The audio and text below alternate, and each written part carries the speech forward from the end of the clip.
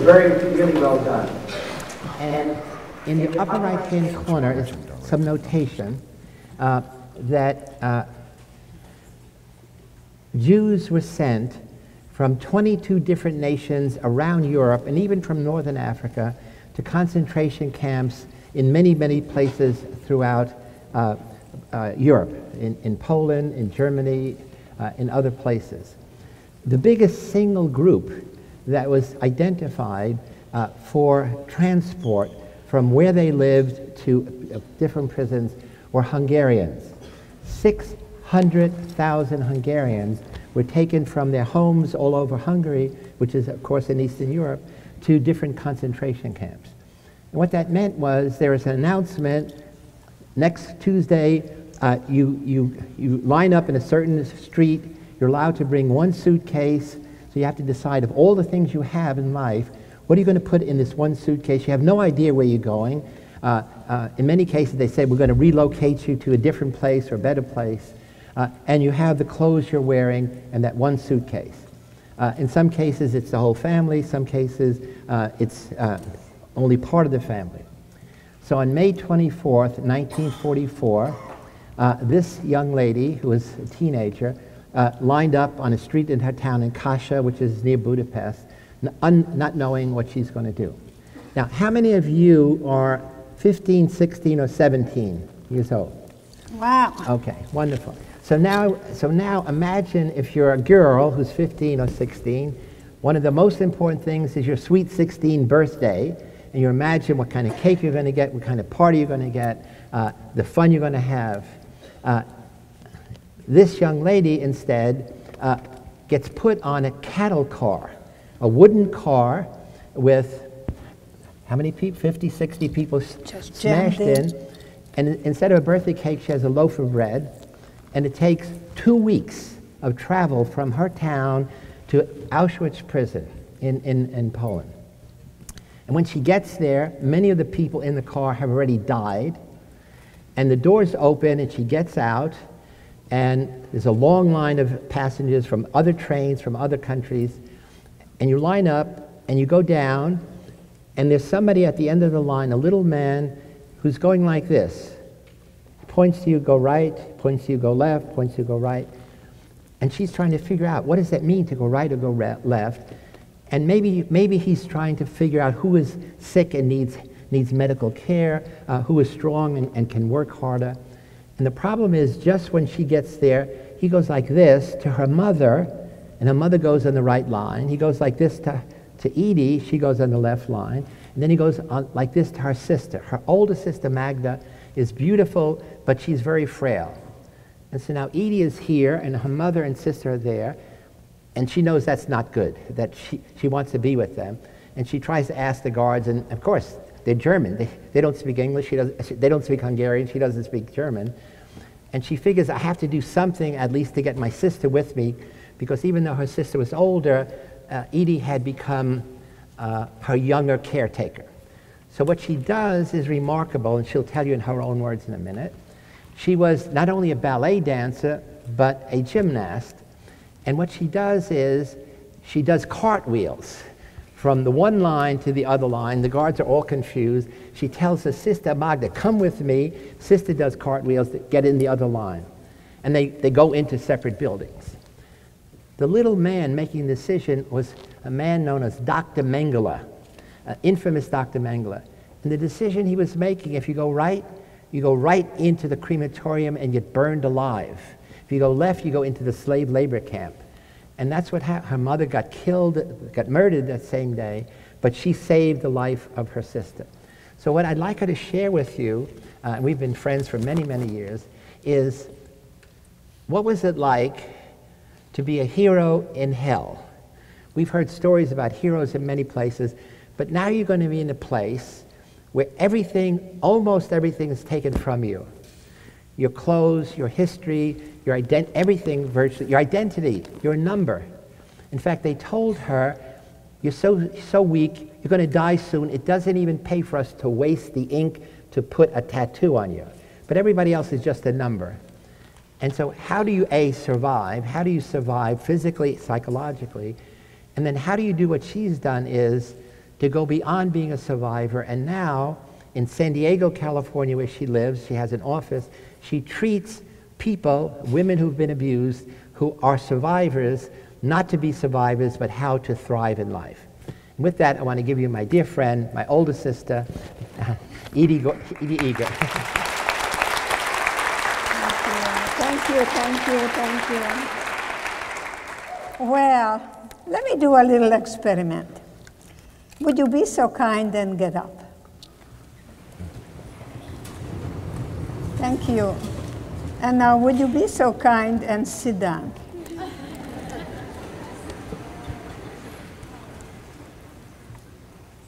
My question is why did you do it? Because I asked?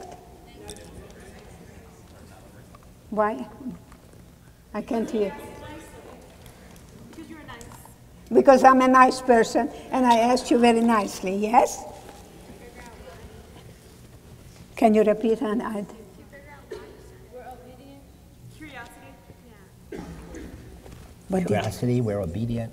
Okay. The truth is that you chose to.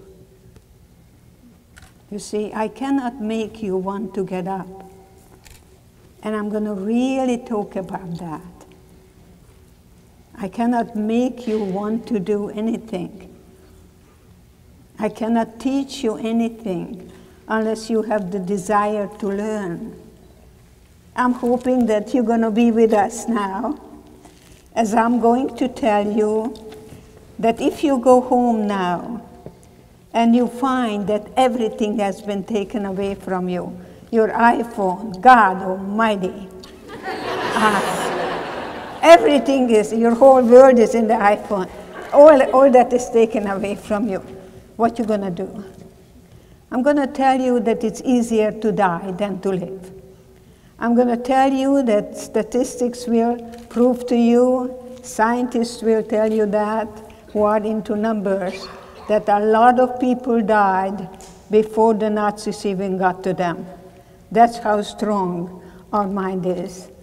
And mostly people who died were people who were really not allowed to have any discomfort, that everything was taken care of them. And this is what I like really to be a good definition of a victim, who's always waiting for somebody come, especially little children, we call them charming manipulators. You always wait for somebody to finish your homework or somebody is going to do it for you. But most of all, that you put your whole happiness into someone else's hand. And I think that's dangerous. So I like to really kind of be your mommy, your grandma, and great grandma. So I have three children, I have five grandchildren, and I have three great grandsons, and that's the best revenge to Hitler. There you go.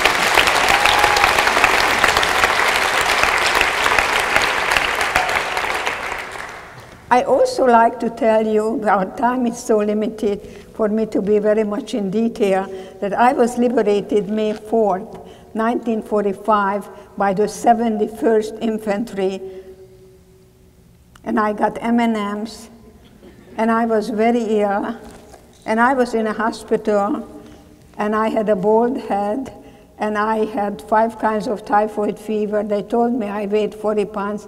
I don't know, but my teeth were separated from my gums. Just to give you an idea, my lungs were filled with water, and I wanted to die. After I've been through all that, and that's what happens when people are depressed. When you get up, you don't say what, you say what for. I had nothing to get up for, and I wanted to die. And imagine if I would have.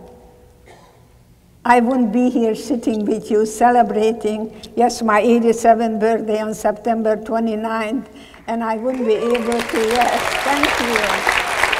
So please, please, please, precious young people, You know, you will want to choose death over life, but when you have a dark night in your soul, call me.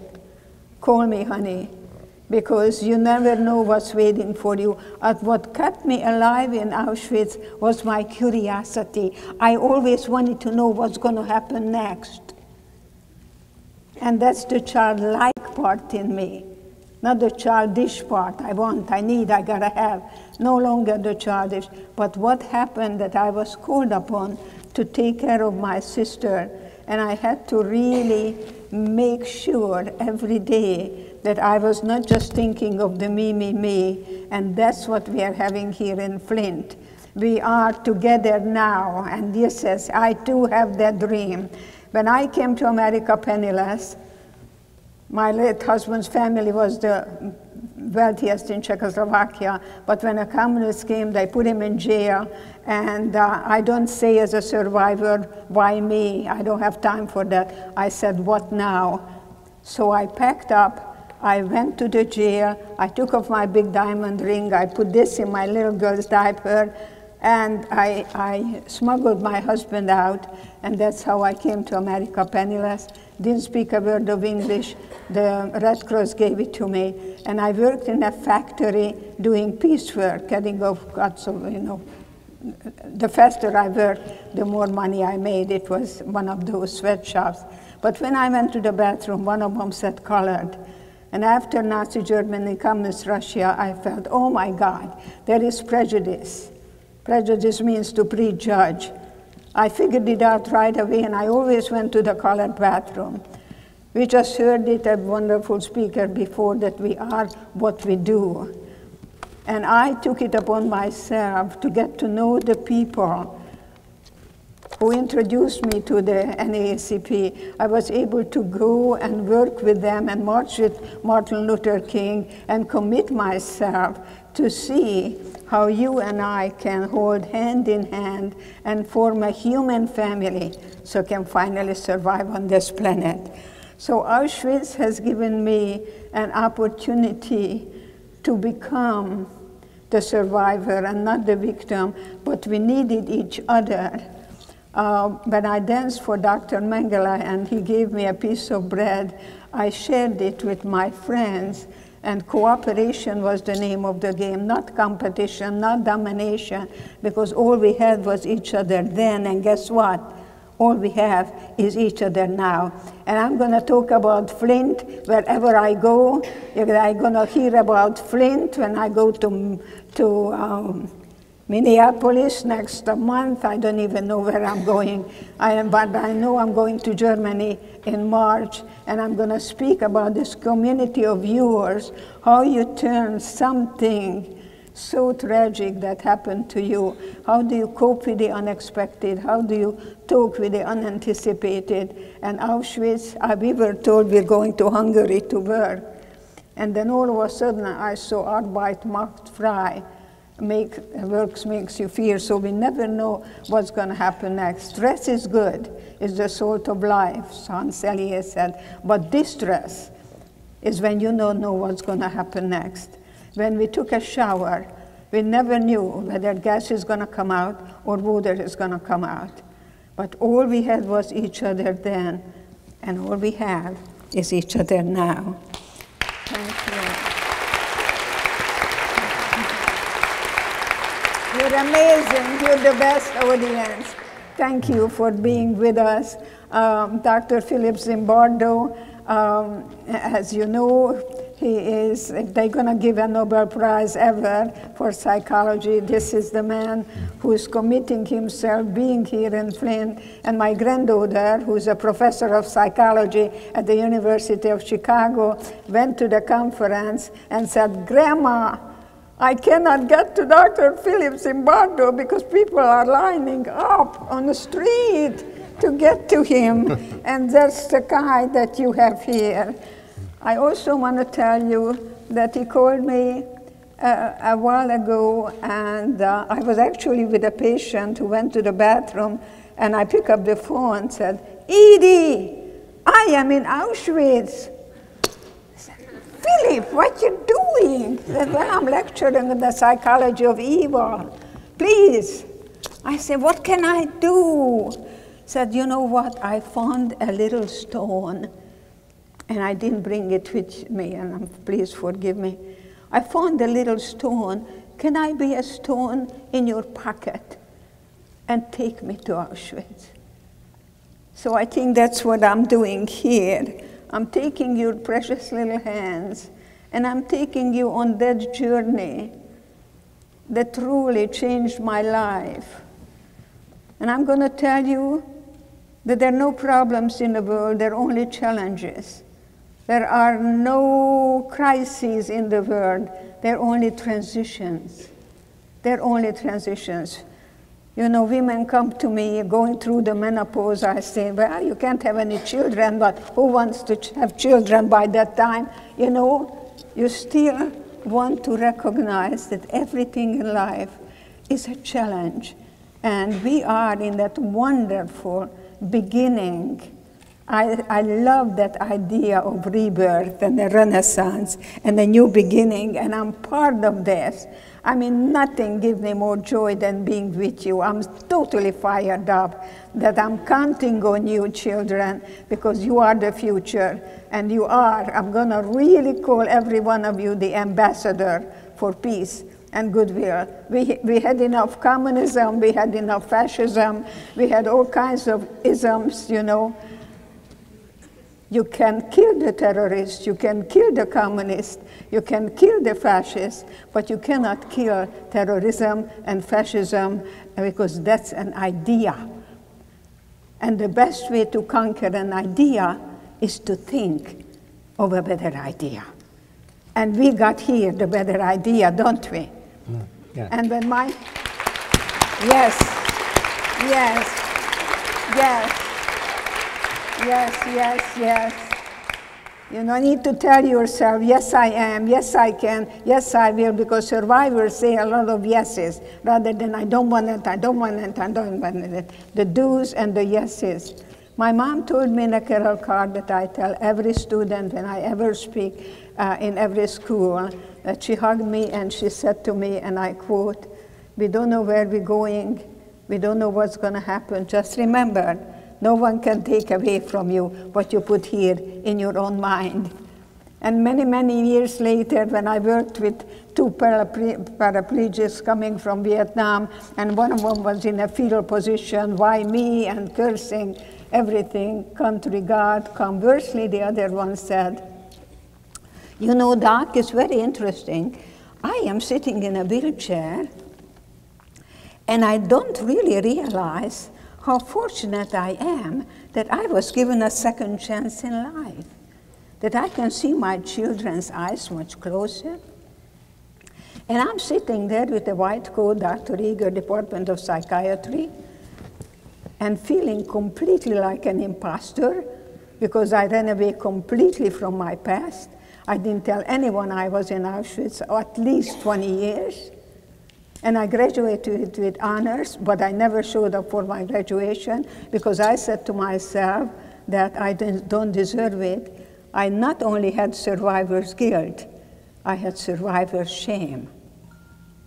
And those two paraplegic made me realize that I couldn't take them further than I have gone myself, and I made a decision to go back to Auschwitz, to go back to the lion's den, to look at the lion in the face and reclaim my innocence, and finally beginning to forgive myself that I survived. So, this is the kind of journey that I like to really tell you where I've been. But you know, I go through the valley of the shadow of death, but I don't camp there or set up household there. I will never forget what happened. I may not overcome what happened. I came to terms with it. I think there is a difference. I call it my cherished wound. And I cherish that part because that's what gave me not to be the strong woman, but the woman of strength. And my word comes from inside out, not the outside in. The more dependency, I guarantee you, the more depression you're going to have. Is that okay to go in that way, this it's, way? That? It's a good start. It's a good start. It's a good start. Um, So, uh, why were you, as a younger sister, uh, the caretaker of your older sister, Magda? Magda was the sexy one. Magda was the pretty one. And you? And I was the runt. Because after two girls, my parents wanted a son, and I came along, and I was cross eyed. I was different. And I thought being different means inferior. You see, honey? And that's why I'm telling you, young people, don't wait for someone else to define who you are. That's very dangerous. You're talking to a, to a world famous psychologist here, and he's going to tell you that's all projection. Because if I feel stupid, I'm going to call you stupid. And the bully is a coward, and the bully likes it when somebody is scared. That gives them power. And we're going to stop bullying. We, I, do, I do a lot of lecturing on bullying myself. But you see, the Nazis were brainwashed. And we, they were told the Jews are cancer to society. And I also point out that genocide is as we speak. I'm very much committed. And I work very hard. I've been to Zimbabwe and all over the world about uh, to stop the genocide. But one thing this is different because never in the history of mankind such a systematic and scientific annihilation of a group of people existed because after one day, 15 people who were highly educated were celebrating that now they can put 10,000 Jews in an oven in one day. Yeah. And that's the truth. So, you know, if you kind of are angry at someone, uh, just remember they're not suffering, you do. So there is a Nazi in every one of us. There is the Mother Teresa in every one of us. Uh, one of my mentors was uh, Abraham Maslow, who talked about the polarities, how we put it together, and not to be a black and white, all or nothing person, but to be able to be a survivor, and survivors are flexible, not rigid. So I do a lot of studying as to what is, what constitute a survivor's personality versus a victim's personality, and never blame the victim. You have to be very sensitive about that. Hmm. And, and so, what kinds of things could you do to help your sister? Because you're limited in what, limited in what anyone could do. You have very little freedom in Auschwitz. I, I think what we did in Auschwitz, we created anything that would help us. We always talked about food, how you make a chicken paprikash, how do you do this, and, and we were counting how many calories and how we're going to really eat and eat and eat. And this is what Abe Maslow said about the physiological needs. But my sister had a tremendous need, even today. Even today, she calls me and tells me I'm gorgeous. And I gave her compliments every day. When we were completely shaven and we stood there in our nakedness and she looked over and asked me how do i look? That's a real classic hungarian question. How do i look? And i had a choice and you have the choice now. Whether i would point out to her that she looked at best like a naked little dog but i pointed out to her not what she lost but what she still has with her and I told her, Magda, you have beautiful eyes. And I didn't lie. I just picked something that I could compliment her that she still had. So if you talk to someone, you may want to ask yourself, is it kind? I like kindness a lot. I like kindness, but then you have to give up the need to be right all the time.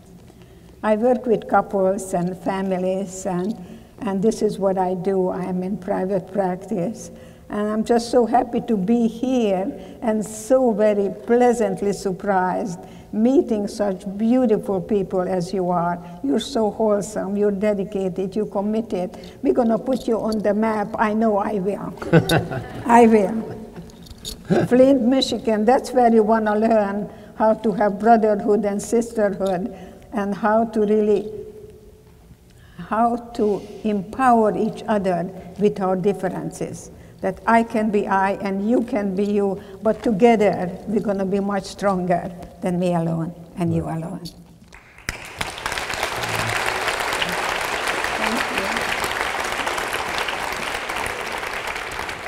Uh, so, uh, uh, when you and, and your uh, sister um, inmates are imagining these incredible meals, what were you actually eating? What would you have for breakfast, lunch, dinner? We were constantly eating. We going, we going to bake a seven-layer Hungarian chocolate cake. And we were salivating, uh, eating and eating and eating. And when it's going to be a holiday, of course, when Hitler dies. And I, I tell you one thing I had a boyfriend, the kind of boyfriend that we had a book club together, we talked about Freud and these kinds of um, relationship. No hanky panky like today. And I was 16. Yeah, didn't touch me, no, no. But I did get 16 red roses for my birthday. And we were going to get married. And we're going to go and have our plan. And this is what happened. When I was in a kettle car, found me somehow through this, this little opening. And he said to me, I never will forget your eyes and your hands. And imagine, I said to myself every day in Auschwitz, if I survive today, then tomorrow I'll be free. That tomorrow I'm going to be Eric. Imre was Hungarian, I think it's Eric. That I'm going to, I was always in the tomorrow. That helped me. Um, if I survive today, I'm going to see him tomorrow, and I'm going to show him my hands, and I'm going to show him my eyes. That kept me going every day, every day. Tomorrow, tomorrow, tomorrow. When I came home, he was the first thing I looked for, and I found out that he was shot a day before liberation. And um, again, you see, we don't, we don't grieve over what happened we grieve over what didn't happen because when my granddaughter was born, Lindsay Catherine in San Diego, the pediatrician examined her and said, This little girl is flexible. She might become a ballerina. And I said, Great, now I can die. Now I have three generations. and, uh, and Lindsay did become a ballerina. She went to a beautiful school called Bishops in La Jolla. And she came to me when she was 16 and said, I want you to buy me a dress so I can go to my dance. And I'm a big sucker. I mean, I mean believe me. Mm-hmm. I bought her the best dress I could see. I think it was a Laura Ashley. And I came home, and out of the blue, I was crying. I didn't understand why am I crying. The word understand is very academic. I never understood why Dr. Mengele, you know, kept me alive. Why me? I don't say why me anymore. I say, what now? So I remember that I came to the realization that I didn't cry because Lindsay went to a dance. I cried because I never went to a dance. I think all therapy is grief work, not what happened, but the teenage years I never had. I never had a boyfriend and I dumped him and I had another one and I dumped him. I, I never had that experience. And what keeps me young today, that I live in a present because I can only touch you now. So see, see whether you're taking yourself in the future or trying to blame someone what happened in the past and I hope that you're going to also live in the present. That's what keeps me young. And I'm pretty ageless, I want you to know. I'm pretty ageless. I'm not old. I'm getting older and wiser. I'm very selective who's going to get my anger. And I'm very selective, really, truly, the kind of people that I like to be around. People who somehow find hope in hopelessness I was teaching in a ghetto uh, with Mexican uh, children who had all kinds of um, ways of forming the gangs and gangs and gangs. And I taught them about the brain power, which is the best power.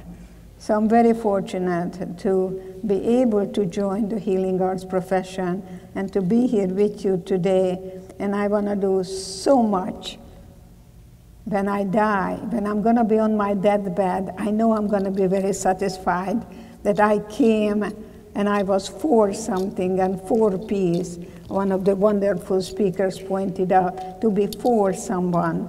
Oh, Mother Teresa, that I'm for peace. I did meet Mother Teresa, and I want you to know she's a very strong woman. She was in La Jolla. This is true story. She was in La Jolla and five doctors took care of her. And she woke up from one of the procedures and she asked Dr. Klein, Do you know about my Jesus?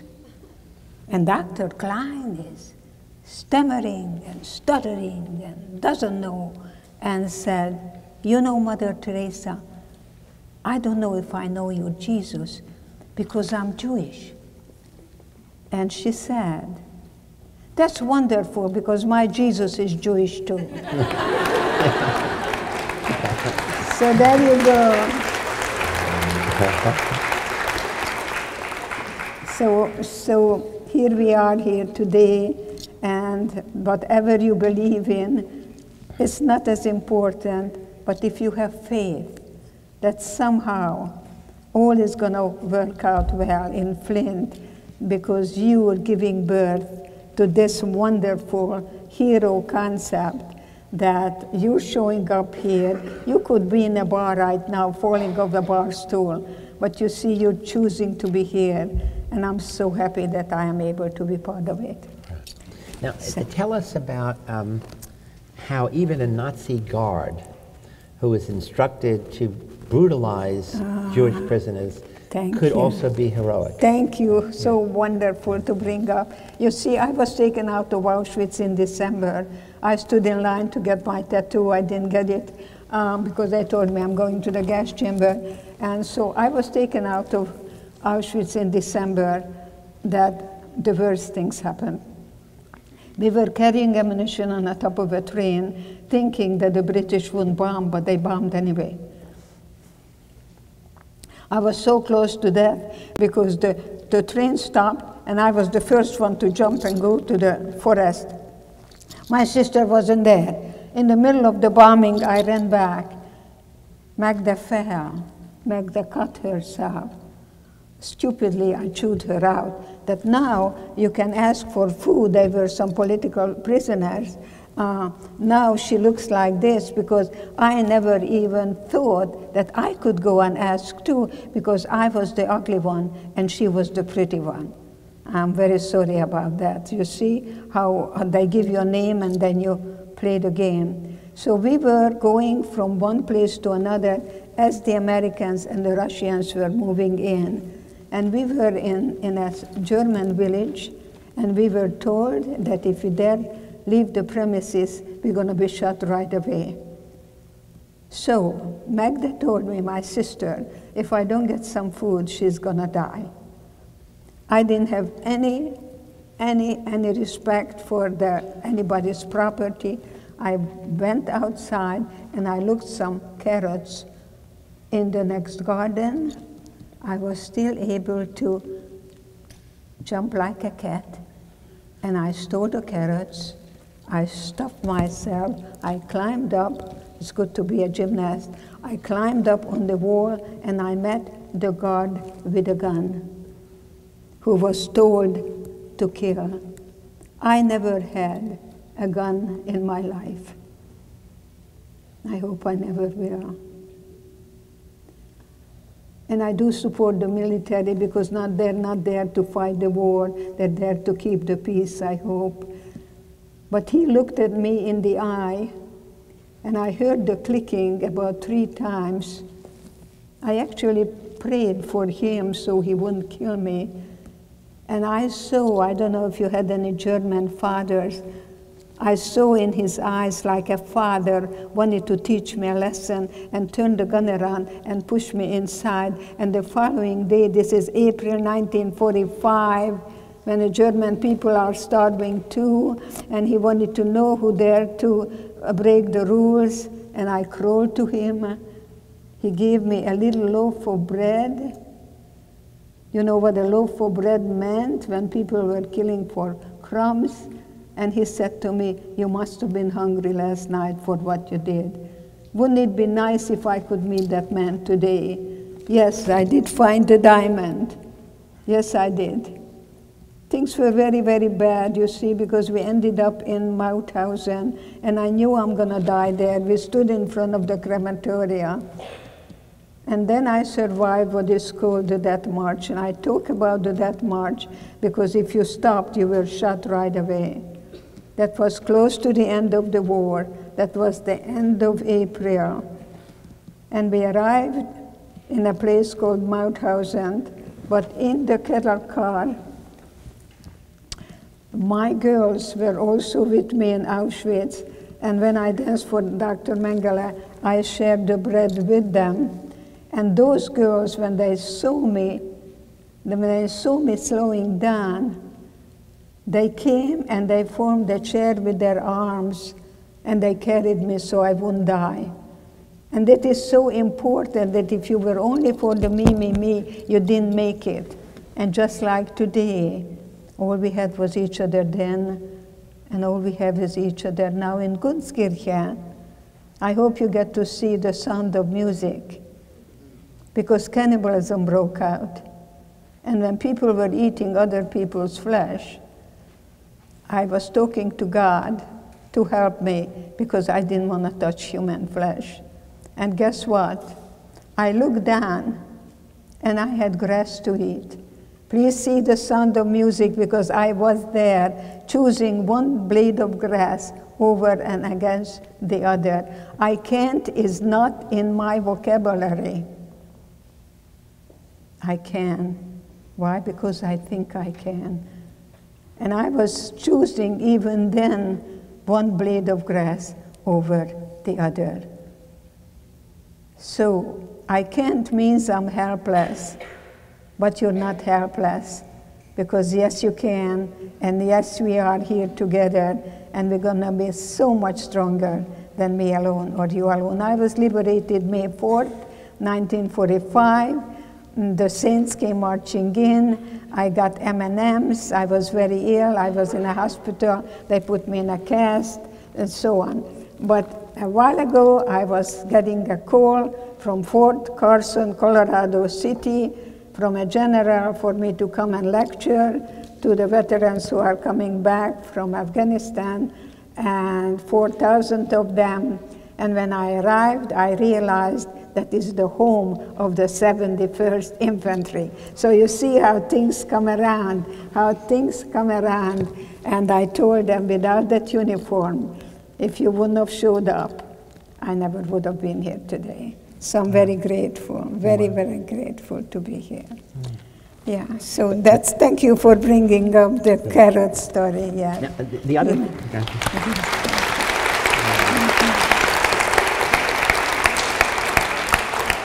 Uh, we only have a few more minutes, but uh, what's also remarkable for me is how, under those horrible, horrific circumstances, mm-hmm. you were able to maintain a sense of humor. Yes. Uh, tell, tell them about the contest you organized. Oh my God, you know about that? I told them, I told them today actually. Uh, we did silly things in Auschwitz, and one day we had a boob contest. Have louder. Yes, we had a boob contest. well, I hate to tell you that I won, but after three children, you know, I washed myself. um, oh my God. I also want to tell you that I had two sisters, and I never saw my father, and I never really wanted to die unless I saw the opposite sex. And in Mauthausen, Gosh, why do I share that with you? Um, I snuck out at night to watch the dead male bodies. So when I die, I wanted to know how a man looks like. I didn't know what you do with it or anything like that. you know. but I was just so curious because I wanted to know how a man looks like. And uh, so the curiosity here again, and having a second chance in life, and being here with you, I am so fired up, totally fired up. And I think you have to be fired up to shed a light. So I want to fire you up. I want to be sure that you're going to take it from this point on, that you're going to just begin a whole wonderful beginning that finally, finally we can survive on this wonderful planet. And I think it's all beginning from this man coming to Flint, Michigan, and uh, able to commit himself. This man is a Renaissance man. And in Stanford, you cannot go through Stanford unless you take the class of Dr. Zimbardo. That's how popular he has been. So give him, give him, yes. So, again, as you were told, there's going to be an incredible reception at 6 o'clock. Uh, we want you all to come uh, because when you come, you can take a selfie with, with Edie or, and or with me uh, and ask her all the questions that are obviously in your mind that we didn't have time to discuss now. So I think with that, unless you With want that, a, fin- a final statement. thank you so much. We love you.